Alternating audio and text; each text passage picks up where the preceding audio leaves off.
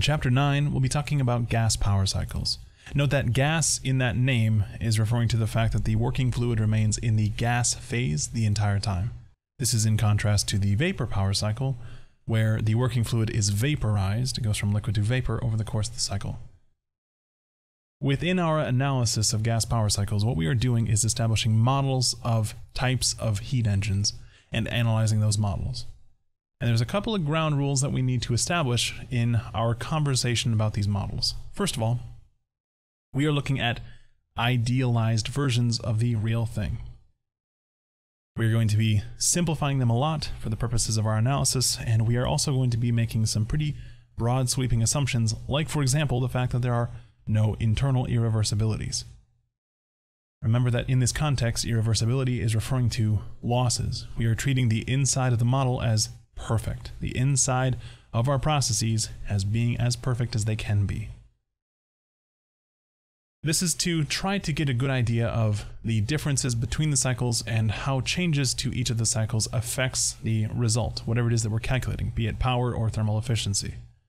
We aren't necessarily trying to determine the actual parameter for the actual engine. That's not what we're doing right now.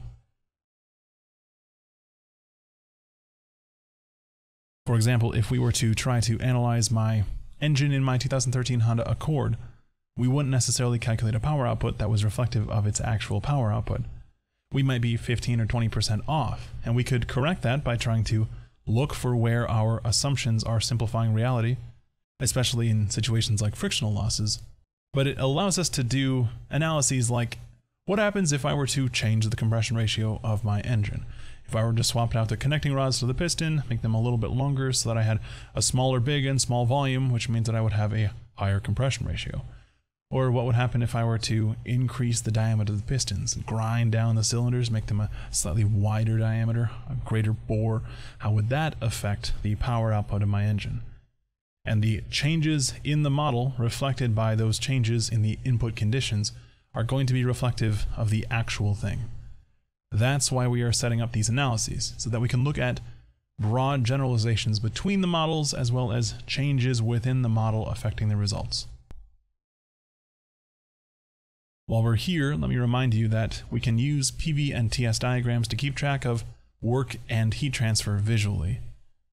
That means that we can look at a PV diagram and deduce what's happening in a cycle, or vice versa. We can analyze a cycle and then create a PV and TS diagram from them to be kind of a visual representation of the cycle as a whole.